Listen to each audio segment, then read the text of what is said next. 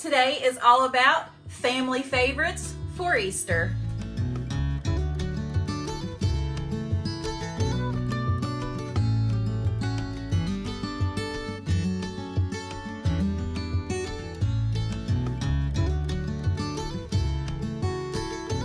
Hey y'all, I'm Sammi and welcome to my kitchen. Today I'm going to be sharing some of the best Easter recipes or springtime recipes or just whenever you want to make them because they are that good. And I really hope you enjoy this because today is super extra special because it is a part of a huge collab hosted by myself and Valerie just for Easter. Can y'all believe it? Can you believe it's already Easter? I can't. But I hope that you enjoyed today's video. And if you are coming over from one of the other ladies' channels, hello and welcome. I'm so, so happy to have you here. I really hope you enjoyed today's video. If you do, make sure you give me a big old thumbs up because I know these recipes are gonna be spectacular. Also, just make sure you go and show all the other lovely ladies who have joined in some much deserved love because they are wonderful. And make sure you check in my description box because I will have all the links listed down below for the playlist as well as Valerie's channel. So y'all make sure y'all go show her some love as well. And thank you so much, Valerie, for hosting with me. Now, sit back and relax. Go get you some sweet tea and let me do all the cooking. Come on, y'all. Let's go. So when I think of Easter, I definitely think of an Easter ham, and this is my favorite way to make it. And yes, it's done in a crock pot. So I've got about two and a half pounds of sliced up ham right here. And all I'm gonna do is kind of just pull it apart just a little bit and kind of just pare it down or push it down into the crock pot. And I know this might sound like a weird combination, but this Coca-Cola really tenderizes that ham and it gives it awesome flavor. Now, depending on the size of your ham, you might need the full 12 ounces, but I'm going to use about half. I have a 15.25 ounce can of pineapple rings. We're going to use about half of those as well. I'm just going to kind of put a couple on the top and about two of them on the side. And now we're going to take that pineapple juice as well. Probably about a quarter of a cup to a half a cup. Like I said, this is for two and a half pound ham. I will, however, have my full recipe linked down in my description box where I share how to make it for a family gathering. And then we're just going to take our little pineapples and put those around as well, just to make it look pretty. But it does add so much flavor, y'all. Now we just put our lid on, and this is gonna cook on low. For this size ham, we want to cook it for about two to four hours because it's already fully cooked. We just wanna let those flavors combine. This ham is also cooked up perfectly. It is gonna be so full of flavor and so tender. I cannot wait to dig into this. Plus, it's pretty, you gotta admit. And now for this delicious ham. Would you look at this goodness right here? Oh my goodness, this is so, so good. Now this one might be a little bit less traditional for Easter supper, but it's one of our favorites. So let's get to making my barbecued baked beans. So in our skillet, I have a pound of ground beef. We're gonna add about one cup of diced up onions. We're gonna give it a little bit of a season with some Nature's seasoning. And once this gets brown, that's when all the magic starts happening. Now that we have that ground beef seasoned up, we're gonna add in about a half a teaspoon of salt and a half a teaspoon of ground black pepper. We are also adding in about a half a cup of light brown sugar. We're gonna give that a quick stir just to make sure that brown sugar gets mixed in well. Now we're gonna throw in about a cup to a cup and a half of lima beans. I just used the frozen ones. We'll give that a quick stir so they can start that cooking process. Next, we'll add in about a tablespoon of Badia Complete, three tablespoons of mustard, about one cup of ketchup, one to one and a half cups, I should say, and about three tablespoons of your favorite barbecue sauce. I'm using the Kinder's Mild Barbecue Sauce because it is the best next to G. Hughes. I love G. Hughes barbecue sauce, the sugar-free one, but this one is really good too. Next, we're gonna add one 15.25 ounce can of drained and rinsed black beans and one 15.25 ounce can of Great Northern beans. I did drain those. And last but not least, we're gonna add in one 28 ounce can of brown sugar hickory baked beans. Now you can use Bush's baked beans or whatever baked beans you like. These are just as good, fraction of the price. Also, per your taste, you could add more barbecue sauce or more brown sugar, whatever you want to add to it, that will be fine. This is just the base of my beans. Also, at this point, you'll want to add in about one cup of the fully cooked bacon pieces, or you could fry up your own and cut it up. This is needed 100%. Now just make sure you mix those well. Let's give these beans a stir. They've been cooking for about an hour now. As you can see, it has made a good amount of sauce in there. That is exactly what you want. So we're just gonna put these down on low and just let them finish simmering the rest of the day. Because like I said, the longer they simmer, the better they are. But these are so good. And these beans cooked up perfectly. So good, so rich, full of flavor. You got the sweet, you've got the savory. It is the perfect combination. Now, I don't know about you all, but when I think of Easter, I think potato salad season's here. So let's go ahead and make my famous tater salad. So in a large mixing bowl, I have five pounds of red skin potatoes. I do leave the skin on mine, but you don't have to if you don't like it. Um, I just think it adds more color to it, plus you have the vitamins from there. But I have already boiled them and they are in the bowl, ready to go. Next, we are going to add about one and a half to two cups of mayonnaise. Now we're going to add in about a quarter cup of distilled white vinegar. You could use apple cider vinegar if you want to. I just don't really care for apple cider vinegar that much. We're going to add in about a teaspoon of salt and a teaspoon of black pepper, about an eighth to a quarter cup of sugar, about a half a cup of onions diced up. And I do use the sweet Vidalia onions in this. Now, we're going to add in some sweet relish. I'm going to use about a half a cup to a cup, just depending on how much y'all like. Next, we're going to add in six diced up hard-boiled eggs and just a touch of mustard, about a tablespoon. Now we'll just give this a good old mix together until everything is combined.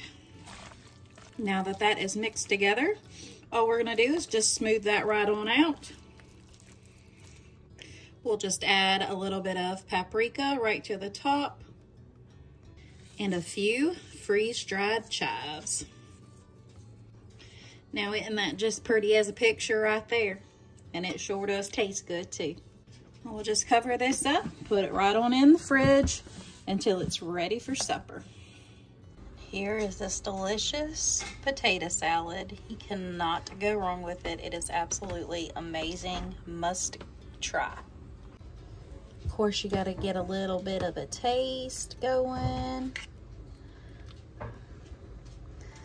This is so good, y'all.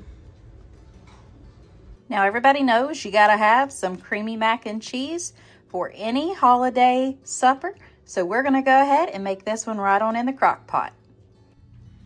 So into a seven quart sprayed crock pot, we are gonna dump in 16 ounces of par cooked noodles. They've been cooked to al dente. We are gonna add in six tablespoons of cubed up butter and we're gonna stir that together until everything melts. I am also gonna add in my pepper, about a teaspoon, and about a half a teaspoon of salt because I'm using salted butter. Now we're just gonna stir that until that butter is melted. Now we're gonna take a 12 ounce can of evaporated milk right over the top we're gonna add in a half a cup of whole milk, two cups of half and half, eight ounces of cubed up Velveeta,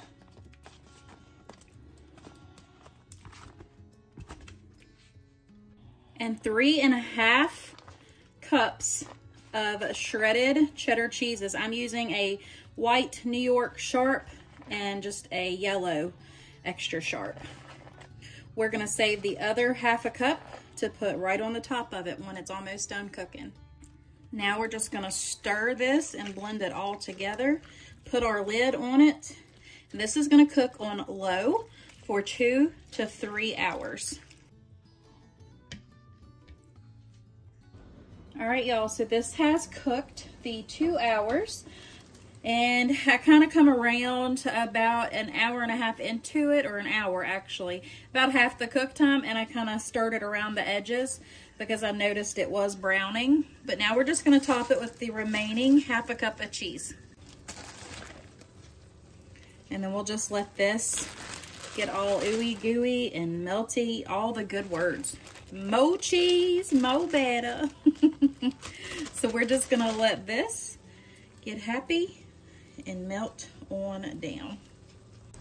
All right, y'all, here is this mac and cheese. It is still sizzling and it is going to be perfect. Ooey, gooey, and cheesy. So, so good.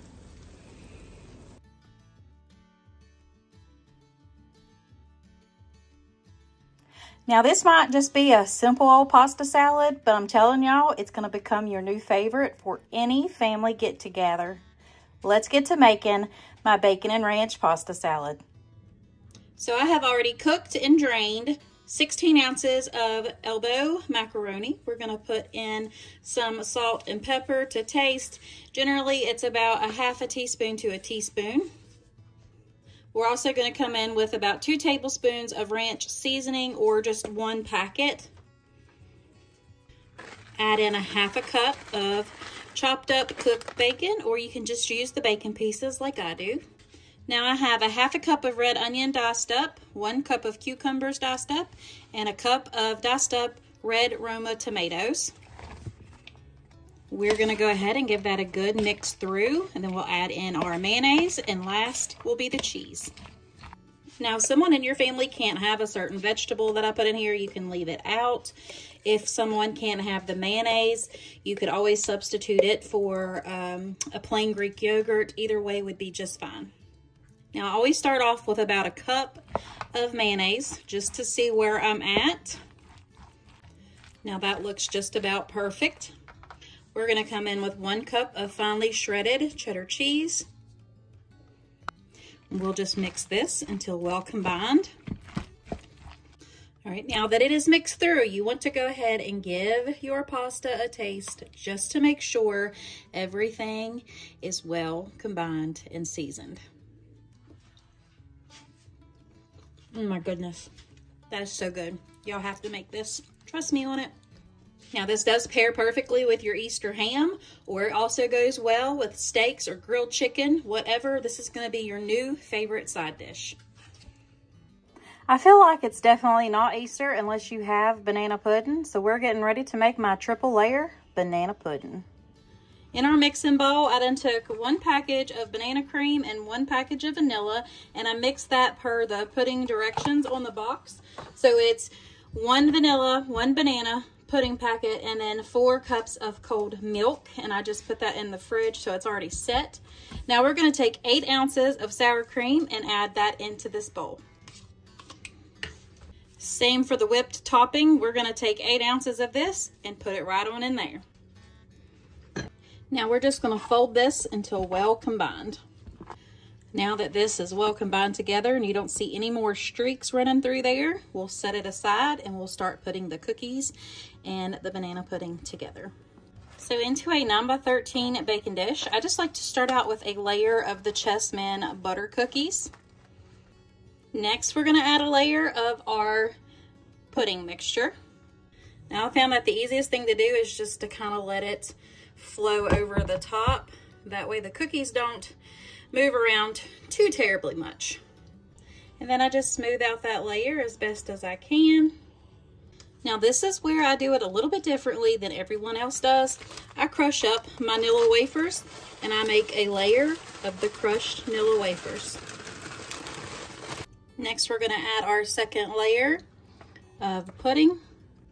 Now we layer on our last layer of the Chessmen cookies. And if you've noticed, I don't put my bananas in the pudding because they get, you know, not so pleasant in the pudding. So I slice them up on top as I serve it. That way the bananas always stay fresh.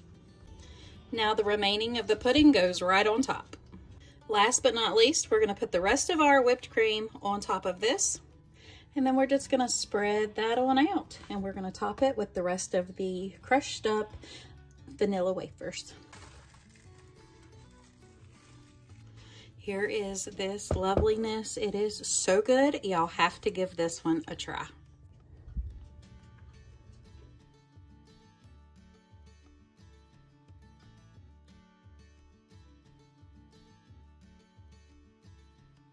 Now, no holiday supper would be complete without some good old deviled eggs, but I like to call mine dilly eggs. So let's get to making them. So I've already halved my eggs and got my egg yolks all crumbled up. What we're going to do is take about a teaspoon of dill weed. Now we're going to take about two tablespoons of mustard. If you don't like mustard in your deviled eggs, please leave it out. It'll be just fine. And of course, about a half a teaspoon of pepper and about a pinch of salt. Now keep in mind, if you don't want the dill in your egg, you could put sweet relish, but now we're gonna add in about three quarters of a cup of mayonnaise. And then I'd like to say, man, these gonna be good. we're just gonna give this a good stir together. Now we have got this mixed up nicely. I don't know if you can see the dill through it, but y'all, these are seriously the best deviled eggs. Mm, I love them. Now, the easiest way I've always found to fill my eggs is just to put this mixture right on into a Ziploc bag and snip that end off, and then you can get all fancy with filling your eggs. So we've got that end snipped off. I'm just going to go ahead and start from the center and swirl it and just make it look as pretty as you want. Now we'll just put a little sprinkle of dill right over the top of them. And of course, some paprika.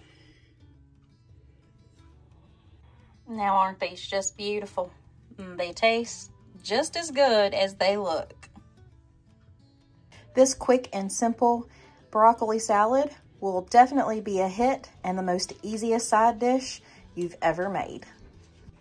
I went ahead and chopped up three um, smaller size broccoli crowns just into these bite-sized pieces. And we're gonna go ahead and set this aside and get our dressing made up real quick.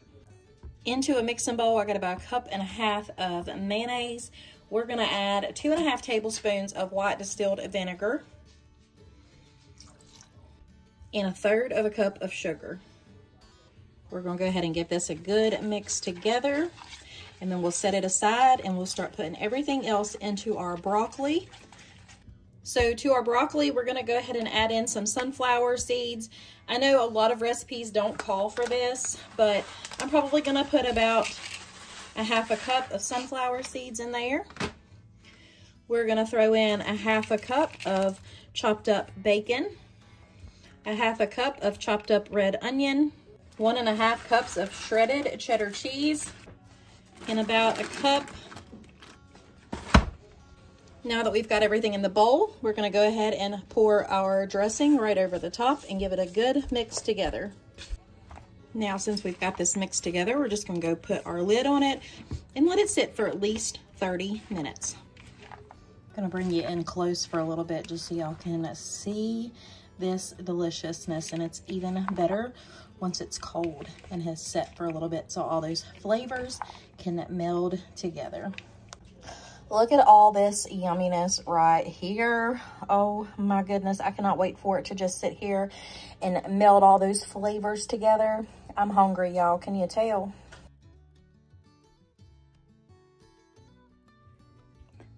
I know this cranberry apple crisp will soon become your new family favorite. Let's get it put together.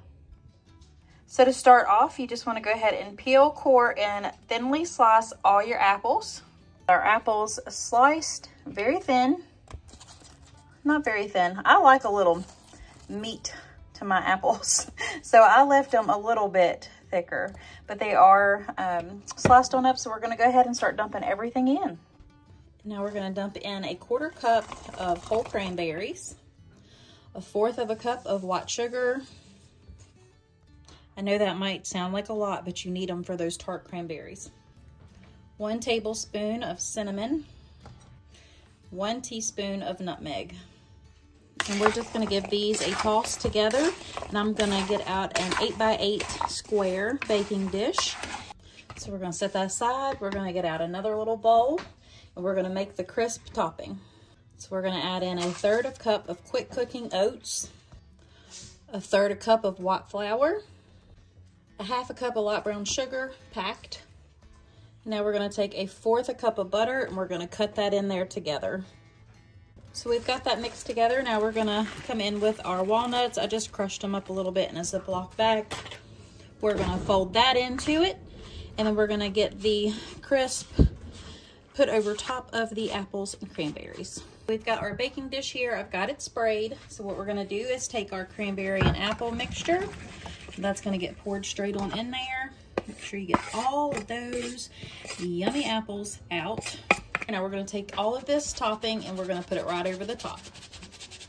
Now this is gonna go into a 375 degree oven for about 40 to 50 minutes. So just keep an eye on it. And here is that crisp deliciousness right here. It smells amazing and I know it is going to be absolutely delicious. All right, y'all, that is it for today's video. I truly, truly hope you enjoyed it. And I just want to say a huge, huge thank you to Valerie for helping me co-host today's video and for all the other lovely creators and ladies who have joined in to make this Easter collaboration so very special to me. Y'all are truly the best. Until next time, if you are in need of prayer, please let me know below and I would be honored to pray for you all. And until next time, if you need some more meal inspirations, make sure you check out these other two videos and I wish you nothing but the very best. God bless. Bye.